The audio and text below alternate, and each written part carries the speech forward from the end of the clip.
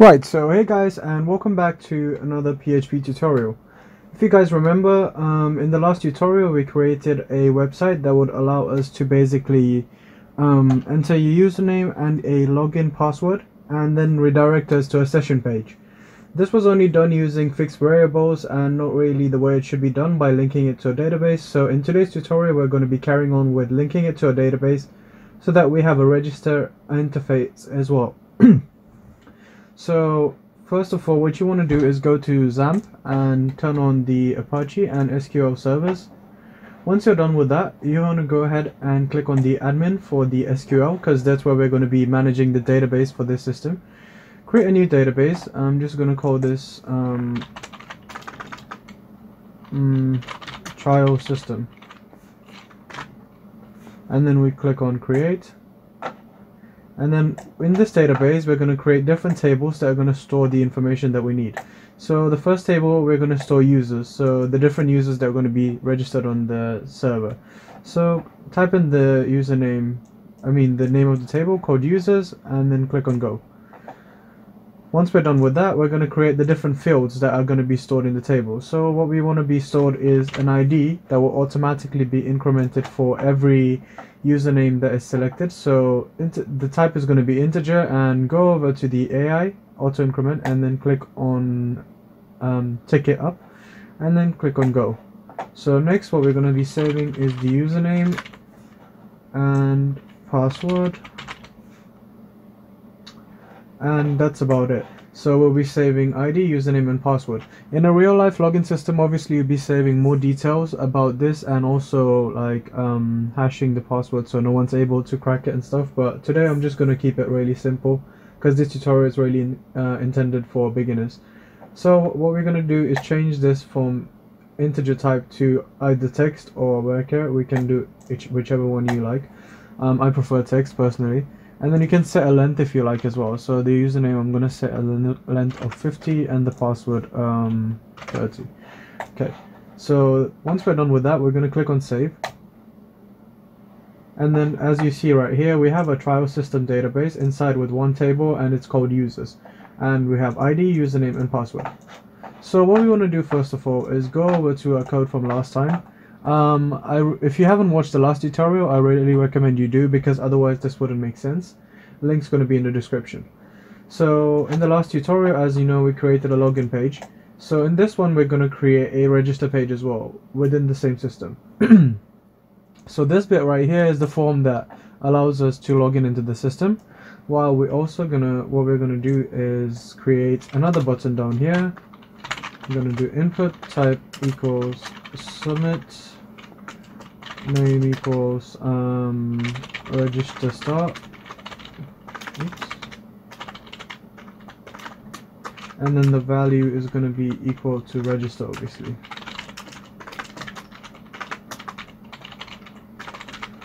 Okay. We're just going to do a br okay. So now if you go over to localhost my folder is called login and register. Wait oops.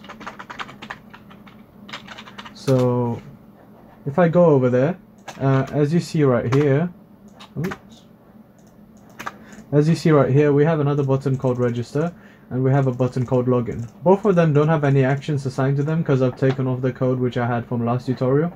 Um, so when we click on this essentially what it should do is take this information Check if a user already exists with this name in our database. If he does, it shouldn't allow that username to be used again. And if he doesn't, it should register the user. So that's what should happen. And if user clicks on login, it should just log in him, log him into the account, checking if the account exists, obviously. So what we would want to do first of all is do the if set statement. So we're going to do if set is a post. So if the event of a post happens, and if the value that is submitted equals um, register start then what we're going to do is we're going to grab the username dollar post username and also we're going to grab the password so we're just going to copy this over again and paste it right here. So what these two lines of code are going to do is um, they're going to grab the username and password which is going to be posted from these input boxes once the login button is pressed and it's going to save them into the username and password variable. So we're just going to tag this as register so that it's going to be different to the login variable we're going to create later. Once that's done, what you want to do is um, start a MySQL connection. So MySQL connect um, localhost because that's where the server's running. Uh,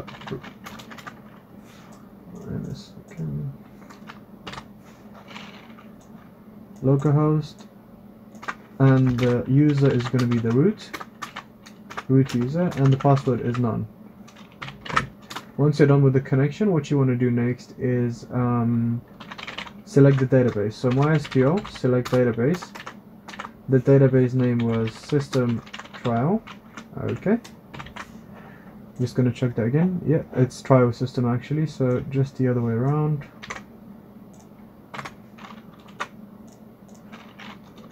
Okay. Now that we've connected to the database and we've selected the right database we're gonna write a query. So we're gonna do mysql dot in query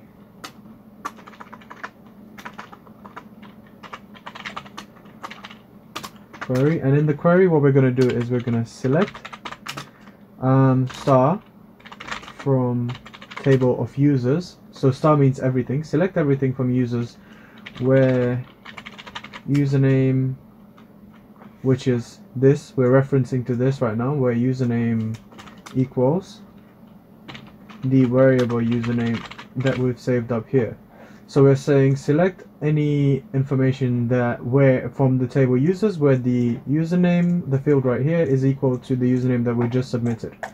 Okay, and then we're going to call this variable um, request. Okay. Once we're done with that, we're going to do um, MySQL num rows request. Right and then we're gonna say results. So what we've just done is we've created another variable called result and what this variable is going to do is it's going to grab the amount of rows um, that the use that for this request. So let's say there is one username which equals the username we've just entered it's going to re uh, return one. If there's none it's going to return none. If there's two obviously it's going to return two.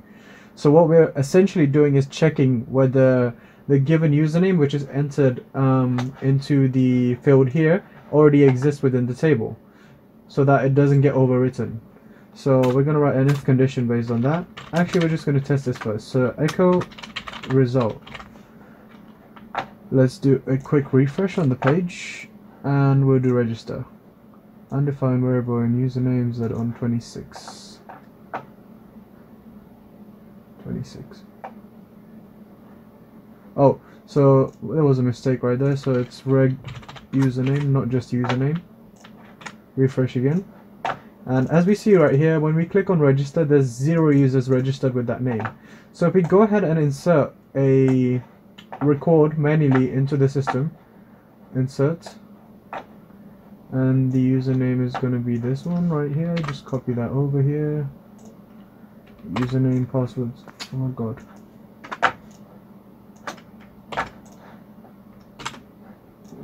Doesn't want to copy for some reason.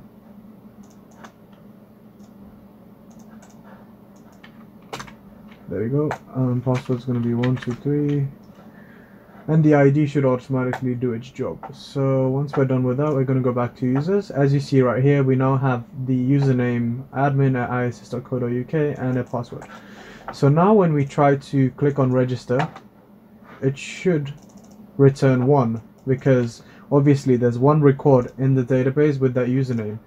So now based on this concept we're going to write an if condition in the code. So instead of echoing result what we're going to do is we're going to say if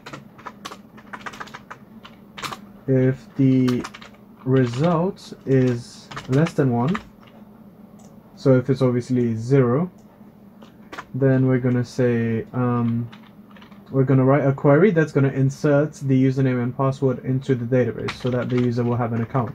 So we're going to do MySQL query um, insert into users values um, reg username we need single quotes as well I think reg username comma reg password and we're just going to do a blank one for the ID so that it, it just ignores it automatically. Okay it needs to be in the same order otherwise things might get messed up. So once we're done with that query we're just going to close that and then we're going to write the else statement. So if or if obviously by any chance there isn't any so if the result is on zero that means there's no record. I mean if it's if it's one or greater than one obviously there is a record so we're just gonna say echo account with this username already exists. Okay. Time for a quick check I'm gonna refresh account with this username already exists. And now we're gonna try to sign up using a different account name. Just click on that again not gonna change anything. So if we try to log in using this which hasn't been registered yet it refreshes. And now if we go to I just want to get rid of this for now. So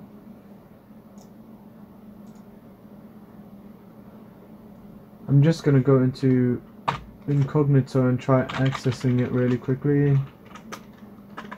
Um, login and register. Okay, that's perfect.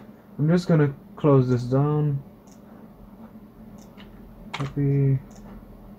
Because it keeps um, pushing in the password, that's why it's a bit annoying. So now what we're gonna do is go and check.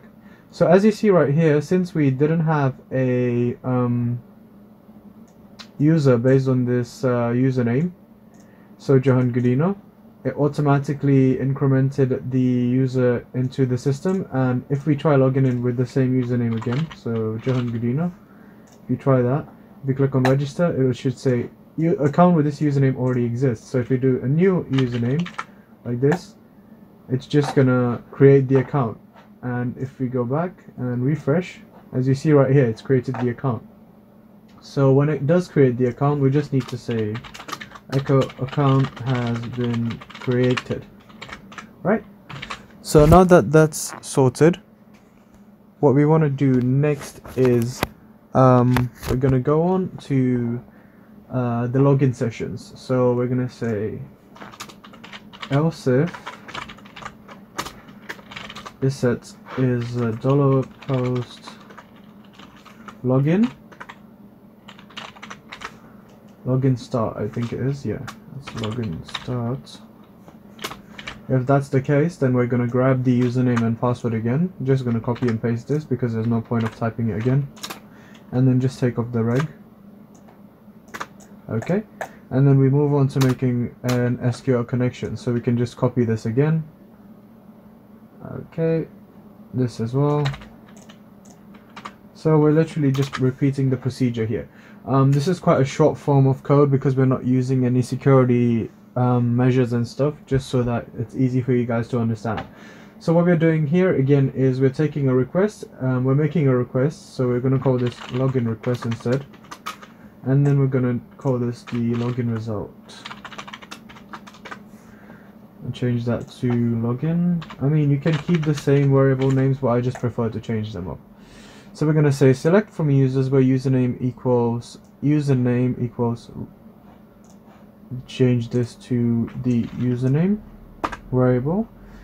And we also need to add a statement and say and password equals the password variable. Now we're verifying the password as well. So now the login result if it equals 1 that means that the login has succeeded. If not, that means the password's wrong, obviously. So we're going to do a concept based on that. So we say if login results is um, greater than 1, let's say if it's less than 1, which means it has failed, then we say echo incorrect username or password right? And else that means the password is correct. We're just gonna do um, a redirect. So we're gonna use a header tag to redirect the user I mean a meta. So I'm just gonna paste that in. So what this is gonna do is redirect the user to the correct page. So username. I'm just gonna get rid of this. So it's going to redirect the user to something called session.php which was another blank type of file we just created last time in the last tutorial.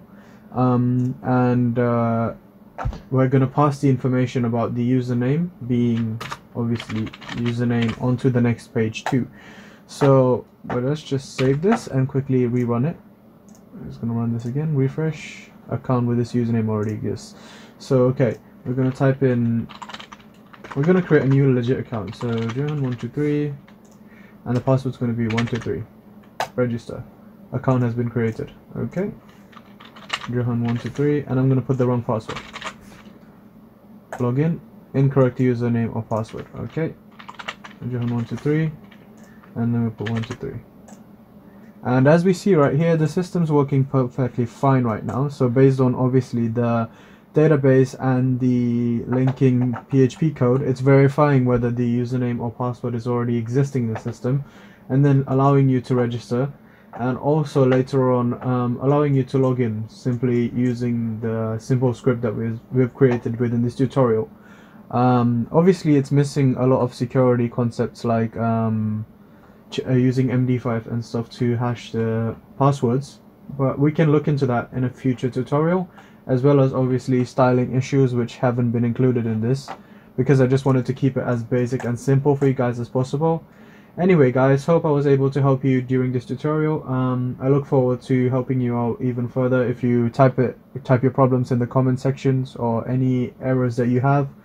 The next tutorial is going to be about styling this website a bit more to make it look more, more suitable and similar to a login site and register site so stay tuned for that as well as the other tutorials that are going to follow about PHP. Anyway guys, thanks for watching. Please make sure to like, comment, subscribe, and I'll see you in the next one. Peace out.